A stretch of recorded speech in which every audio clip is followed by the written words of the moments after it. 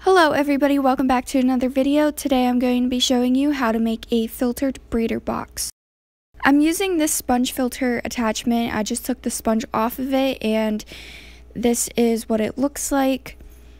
I'm using an old tank, a filter cartridge, and some silicone and a drill. Now I'm using a 6.35 millimeter drill bit.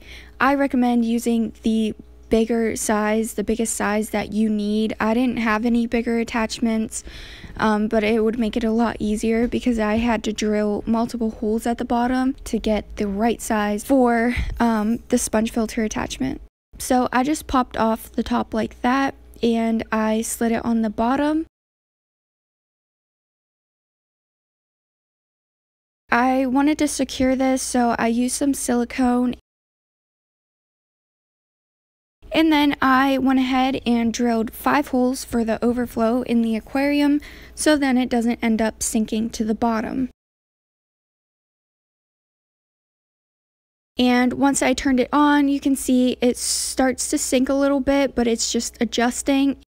And the overflow holes worked perfectly, so the tank didn't end up sinking because there's water that's being pushed back into the main tank.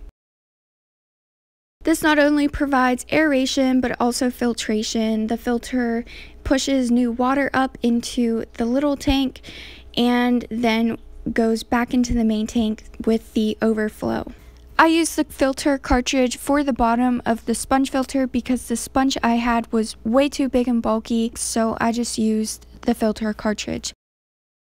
That is it for this video. Thank you for watching. Please check out my Instagram and subscribe. ああ。